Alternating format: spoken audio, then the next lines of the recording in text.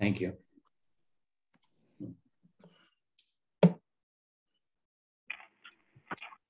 Speaker today, Pearl Eliadis, describes herself as a pracademic. She divides her time between the practice of law and academics. As a senior lawyer, she has led complex global projects on human rights, national institutions, and democratic governance.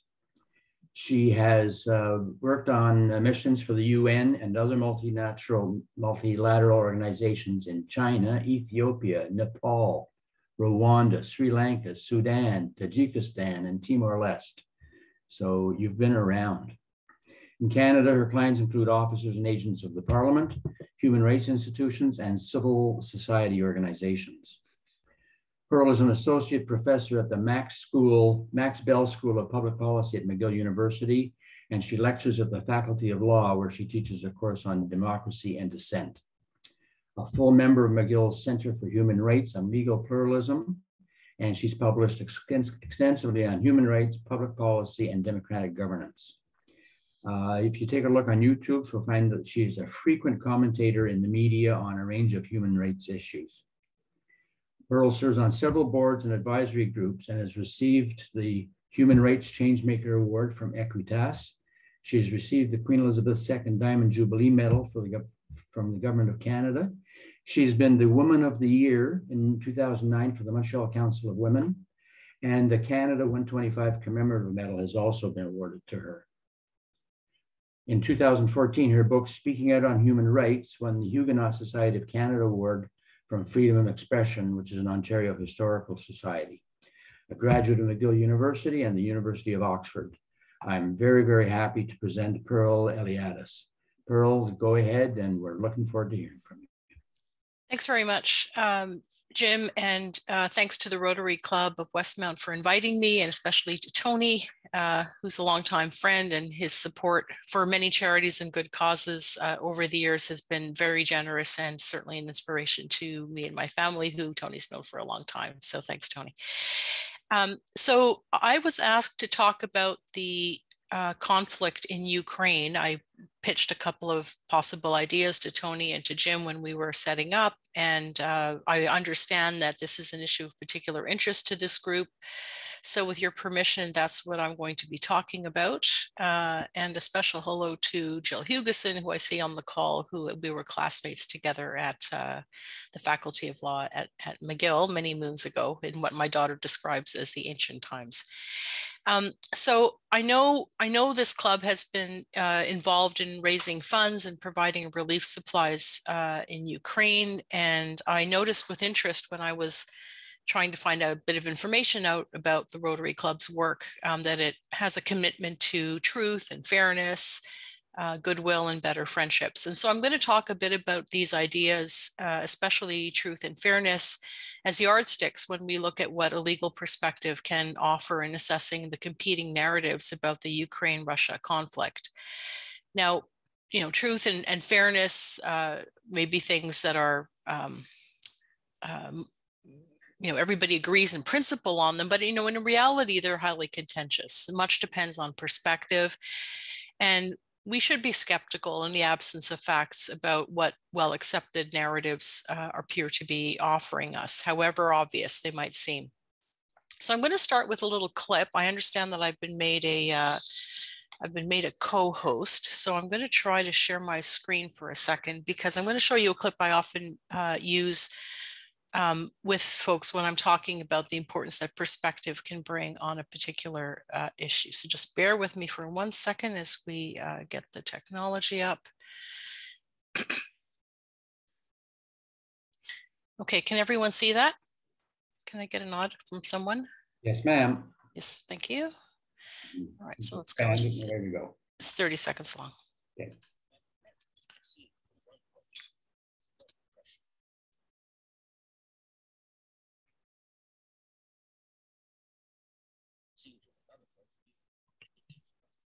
Can you share the sound?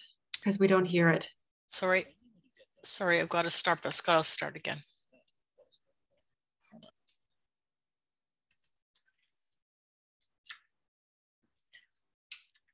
Sorry, just give me one quick second. Let's try that again.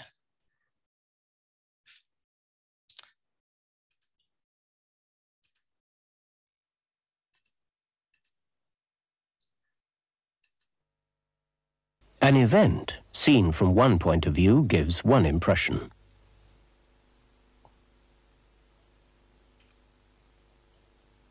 Seen from another point of view, it gives quite a different impression. But it's only when you get the whole picture you can fully understand what's going on. So that's a little, I hope everybody heard that this time. Yes. Yeah. Uh, so so that's a little uh, blurb that I often use because I, I find it's um, uh, a very thoughtful way of and simple way of thinking about how different perspectives can fundamentally change what we think is is going on. And so when organizations like this club and others raise funds for one side of a cause or another, uh, of course you're taking sides, right? And so this raises important raises important questions about what the truth is and what is actually fair and whether or not you've made the right decisions. Um, so one of the things that good policy analysis and lawyering does uh, do uh, is to bring together different perspectives, multiple perspectives, diverse intellectual uh, and different kinds of diversity in different disciplines um, that bring together different kinds of truth finding and forensic or investigatory techniques to develop stronger and more coherent pictures of what is actually taking place. And so when we consider the policy implications of intervening in humanitarian interventions or even sanctions on another country that claim to be acting claims to be acting in its own interests or is protecting its own people or claims to be regaining or retaining historic territory what makes us believe one side or the other uh, other than what we've been shown in the media? What values should we rely on? And how do we know that the story won't change in important ways if our context changes, just as you saw in the clip that I just showed you? It's pretty clear that we're living in one of the most insecure and troubling periods since the 1960s, if not since the Second World War. Um, the United States internecine political conflicts have sapped a lot of its moral resolve and probably legitimacy. Liberal democracies are struggling to recover from the ravages of a two year pandemic. Uh, I don't need to tell all of you uh, what the implications of that have been. Uh, climate change, of course, uh, women's reproductive freedom that's uh, under assault in, in a number of countries. Uh, and for the purposes of this conversation, there's also been a retreat the, from the rule of law and therefore democracy. And that extends to human rights, anti-corruption, free and fair elections, um, and the values, of course, of the Bretton Woods institutions that sustain global integration and encourage economic cooperation. Um, I don't think examples, uh, many examples are needed. Um, but you know, a glance in virtually any direction provides depressing evidence. China uh, of course, uh, East and West Africa under the scourge of groups like Al Shabaab and Boko Haram, um, Central uh, Central Africa with the Rwanda conf Congo conflict that's ongoing. The Middle East is a mess. Um, Brexit has thrown a monkey wrench in Europe's works, uh, and the far right is rising again in Italy and in Spain. Um, and this, of course, brings us to Russia and Mr. Putin. Uh, Russia's claim that it invaded Russia, be, uh, invaded Ukraine because it had to stop a genocide and that it was protecting Russians is a flagrant example of this kind of allegation. It's something that we uh, sometimes call a mirror accusation because it weaponizes the very practice that the accuser itself is engaged in to point to its adversary and then to justify its own behavior. More on that in a moment. Um, among authoritarians, Putin is arguably in his own category. He's rumored to have gone down the rabbit hole of czarist aspirations to recapture the greater glory of an imperial Russia and his so called special military operation. And I'm going to use that term in air quotes uh, throughout this talk, um, has resulted not only in the invasion, apparently uh, unprovoked, as I think we'll see from the evidence in a moment, um, but has also destabilized Europe, challenged uh, NATO, uh, and unleashed a humanitarian crisis. Uh, and today marks six months uh, into the conflict, with Russian forces continuing their military push on several fronts. and the Russian ambassador declaring uh, late last week or early this week that talks had basically fallen apart. So how do we test Russia's claims? Um, the capacity to undertake investigations is limited during military conflict. It's even somewhat limited during um, post-conflict situations. I've worked in some of these uh, areas. I, I, don't purport to be a security expert, uh, but certainly working even in post-conflict situations or where there's sort of lingering uh, lingering conflicts that are ongoing in the field makes these uh, kinds of uh, investigations and inquiries very difficult. Um, but I'm going to offer some answers, uh, or at least attempts at answers from a legal perspective, understanding that there are other perspectives and of course other disciplines that are available to provide answers. Um, and, and I think in these contexts, law matters because it, it, it really is ultimately the arbiter of disputes that is recognized in liberal democracies uh, and it's the and the rule of law is really the only way forward if anything resembling justice and the way of life we all value um, is is uh, to continue so i'm, going to focus on the claim that there was a genocide in ukraine uh, perpetrated against ethnic russians and if true that would have served as a pretext uh, for the invasion. Um, now, if there had been a genocide uh, against Russian speakers, that would have probably justified some form of intervention by third party states uh, to the Genocide Convention, or at least some form of multilateral action uh, convened through the UN or other, uh, other bodies. Um, Ukraine claims uh, that Russia itself based its special military operation on Article 1 of the Genocide Convention, which allows for the prevention and punishment of genocide. Um, Ukraine asked the International Court of Justice uh, shortly after the invasion to actually and formally declare that no acts of genocide as, as defined in the Genocide Convention had actually taken place in the two regions uh, of Ukraine that were affected, the Luhansk and Donetsk regions. Um, the Ukraine government provided documentation and witnesses to support its claims that no genocide had in fact taken place, uh, while the government of the Russian Federation actually failed to appear uh, before the International Court of Justice uh, in separate documentation. Um, I don't want to spend too much time on this issue of jurisdiction, but Russia intervened to say that the ICJ had no jurisdiction. And this might sound like a technical or kind of lawyerly trick. Uh, in fact, issues of jurisdiction are really fundamental. Uh, they're as old as law itself uh, because they're all about how law is actually exercised and the authority to do that. And I'm not going to spend any time talking about it other than to say uh, that the, the um, jurisdictional argument was was uh, rejected, uh, in part because the uh, International Court of Justice has jurisdiction over disagreements uh, and claims, differing claims and disputes that are brought by parties to the United Nations, which of course both uh, Russia and Ukraine are, and they're both um, um, ratifiers of the Genocide Convention. So that creates a foundation on which um, uh, the International Court of Justice was allowed to intervene. And a lot of you may not know what the ICJ is or what it does. Um, not many of us spend a lot of time thinking about these things, but essentially it's the World Forum of the United Nations where states can go to have their disputes uh, addressed.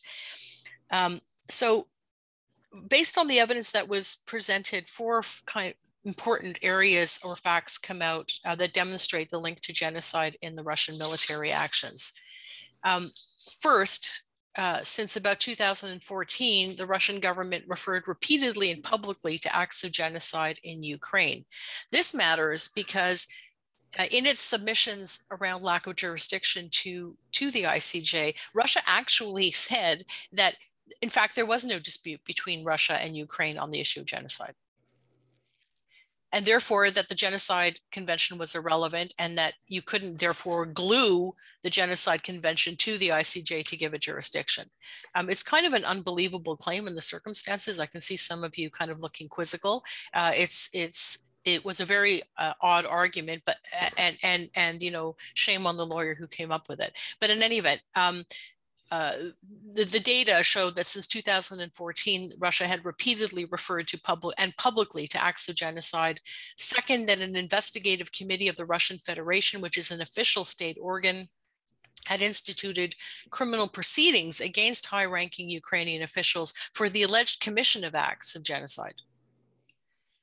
Third, on the 21st of February uh, 2022, just before the invasion, Mr. Putin had described the situation in Donbass as, and I quote, a horror and a genocide in which almost 4 million people, uh, which 4 million people are facing.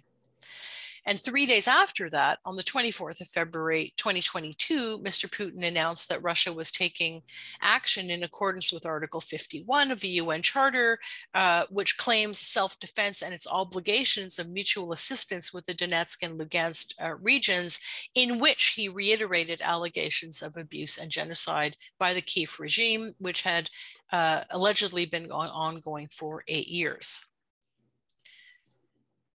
So uh, as absurd as the argument there actually was dispute was no dispute about this may have seemed the court needed to take it seriously and needed to address it and was able to do that in a pretty systematic way. The court rendered its decision on march 16th um, and in short, observed that the genocide had in fact clearly been raised by both parties to the conflict, and that even if Russia had not itself formally invoked the convention, uh, the death and destruction resulting from the invasion, uh, at very least, met the preliminary tests for what was being asked for in this case, which were something called provisional measures, kind of a holding pattern uh, that would hold in place until the ICJ uh, actually gets to the merits of the case.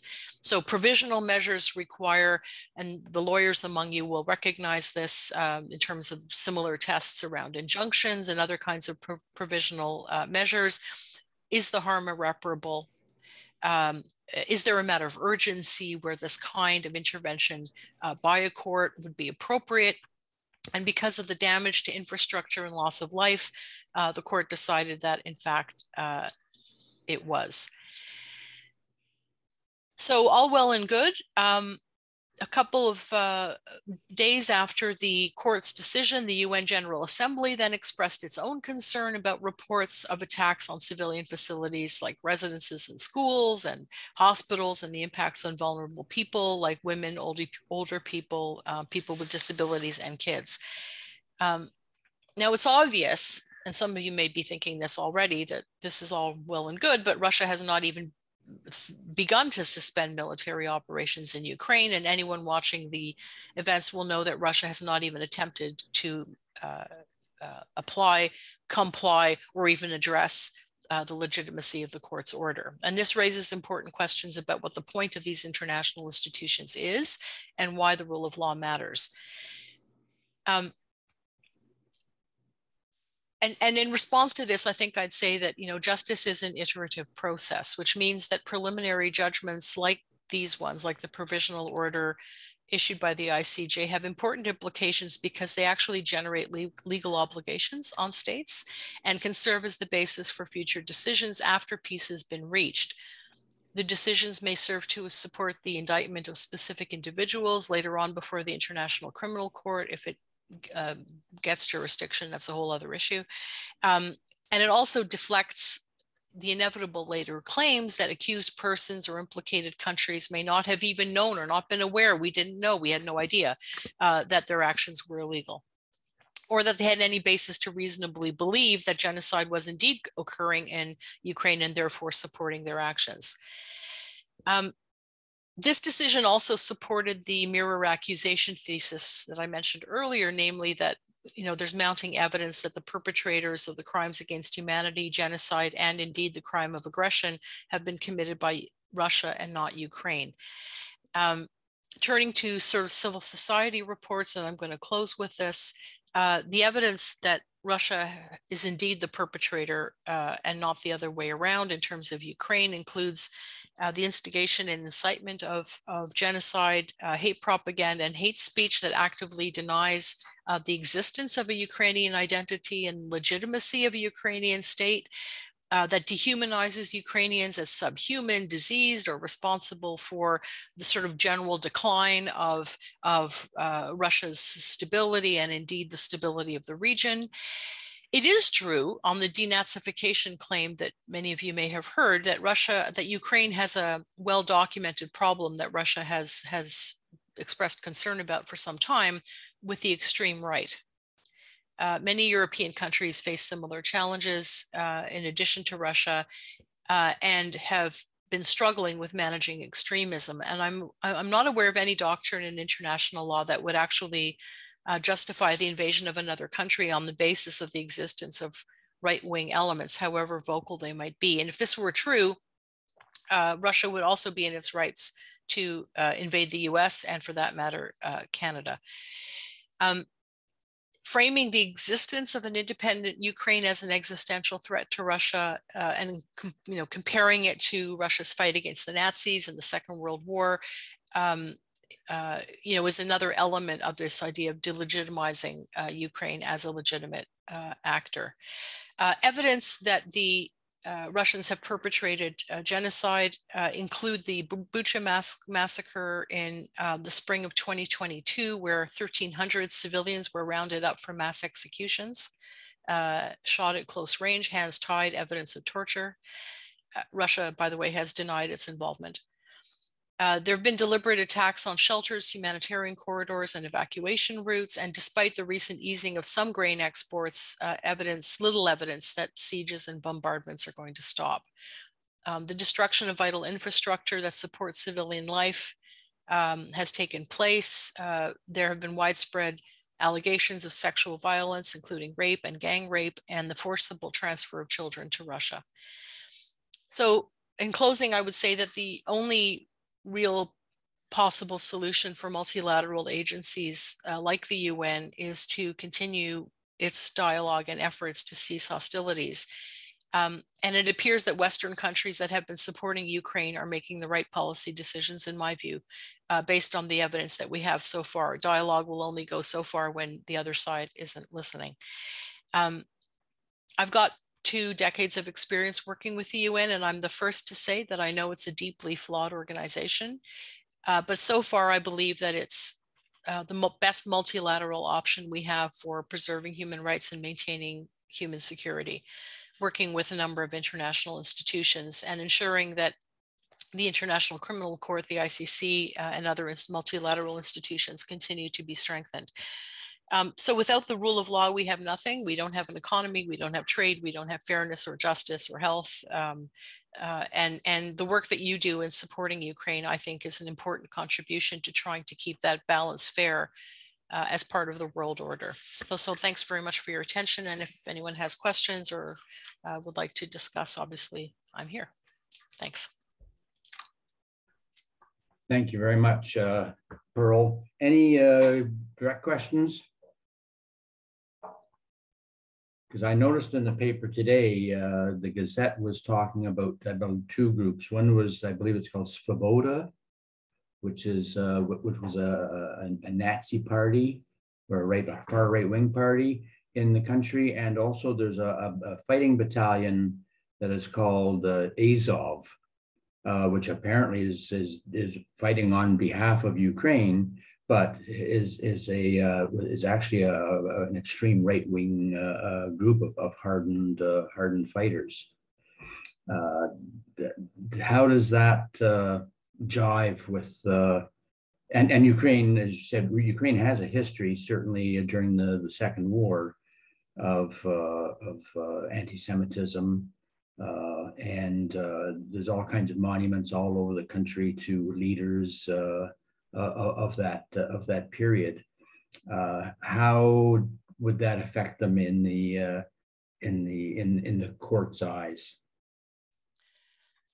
So so this goes back to the point that I made earlier. Certainly, the the two groups that you mentioned, and Azov in particular, has has gotten a fair amount of uh, attention because they were also the group that was defending the steelworks uh, in Mariupol. Uh, so, so you know, they very much come out of this with sort of a, a, a very different impression than the one we've had before. Look, the, the, the you know, as I said before, there is a long history of far right uh, groups that are operating in in Ukraine and trying to get uh, trying to get political legitimacy, and a lot of them are have a militia or are militarized, um, and and the international community, I think in general, uh, is aware that these groups have existed. And because they do have uh, military capacity, there's no question that they've been drawn on uh, in order to, to uh, accelerate the fighting.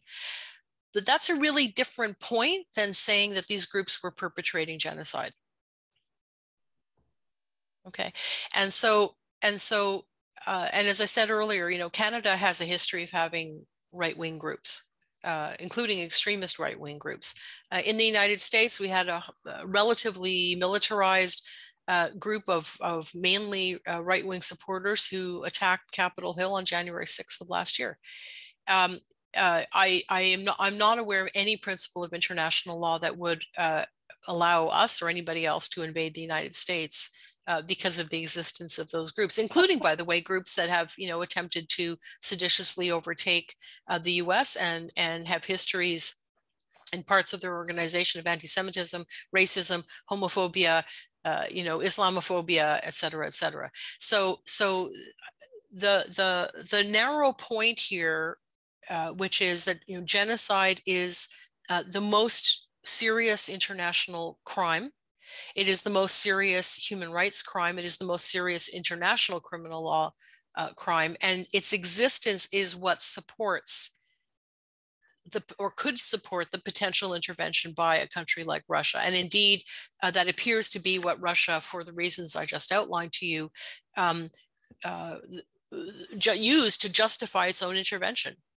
Uh, the, the, denazification piece uh, really uh, it, like like many forms of propaganda is grounded in some truth but then it's leveraged or bootstrapped in a way that attempts to justify the much larger claim of genocide which i don't think exists. So you know and and, and coming back to the point about truth and fairness i think it's important to acknowledge as, as you just did jim that these two other groups exist and they have a long history and it is cause for concern. Uh, but does it does it uh, justify what has happened and what has been unleashed on Ukraine? I think the answer is equivocal, unequivocally no.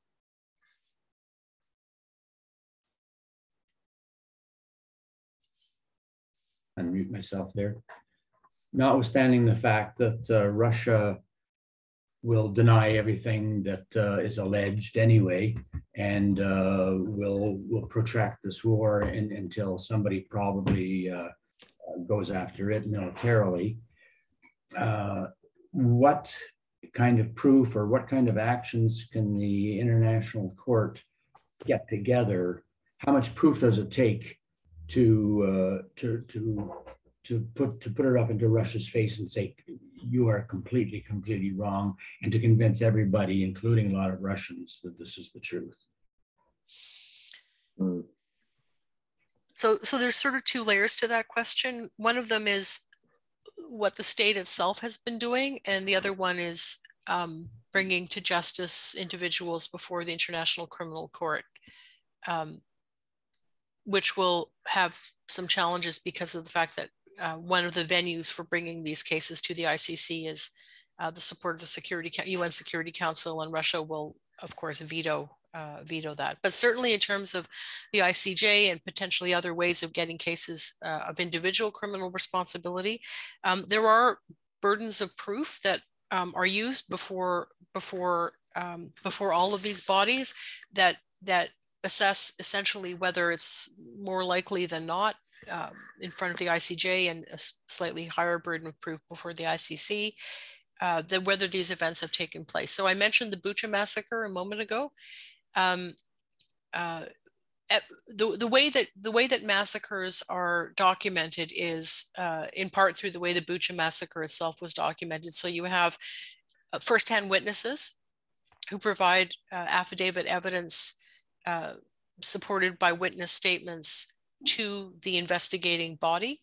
Uh, those witness statements are brought together. They look at things like um, insignias, uniform information, uh, of the perpetrators? What did the uniforms look like? Uh, was there any evidence uh, of, uh, for example, munitions uh, or ballistics that support that it was, for example, uh, a weapon that was in the possession of one side or and not the other? First-hand witnesses that identify particular individuals that are responsible.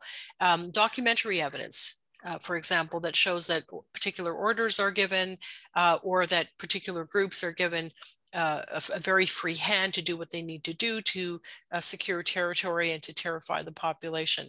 Um, the Genocide Convention has a specific set of rules in it uh, regarding both the act of genocide, which includes evidence of killings, uh, serious harm, um, um, forcible transfer of children, uh, and creating physical situations where human life is is not sustainable. For example, loss of water, food, uh, exposure to elements, and so on. So elements of most of these have been have been uh, made out in this particular case um, and, and evidence would need to be brought forward on a systematic basis at a larger scale once people get access to the country which they don't have now uh, and the second piece of this is intention you also need to show that there's an intention uh, to eliminate the group and so some of the things i talked about earlier that speak to that intention.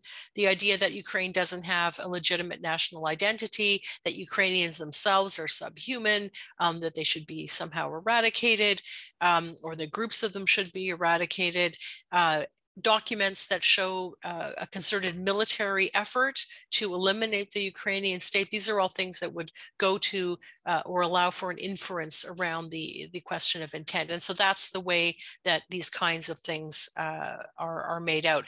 And we have we have lots of experience uh, in the international law community in doing this kind of work. So I was involved in, in what happened in Rwanda after the genocide. It was a similar kind of exercise, although very different circumstances. The International Criminal Tribunal of, of Yugoslavia um, had had similar measures. Uh, Sierra Leone, where I, I, haven't worked, but they also had an international um, uh, criminal law kind of process that went on. So, so that's the way in which it's done. And as I said before, it's a long process. It may take years, but things like this provisional judgment that I just talked about um, are really the first steps in preparing a foundation for uh, bringing forward prosecutions later on. And of course, you know, it's not it's not a done deal. There's a process you have to go through, and uh, the evidence needs to be brought to bear. And I presume this will most of this will will come to fruition after the war is ended yeah it's it's really i think that's right I, you know I, I it's very it's, it's very difficult and mm-hmm. and dangerous uh, actually to to you know to have uh, folks doing forensic work go into the field when there are so many ongoing uh, and immediate um, needs in terms of military needs uh, and and so on. I know you know there are people who are in the field, including actually a former classmate of ours, Dan Bilak, who um, is a Ukrainian Canadian, who I, I just found out last week is in the field, and he's actually uh, he, he's actually uh, one of the people behind a challenge that's just been issued against the Canadian government for providing that turbine. You may have heard about in the news uh, that has gone to the Germans.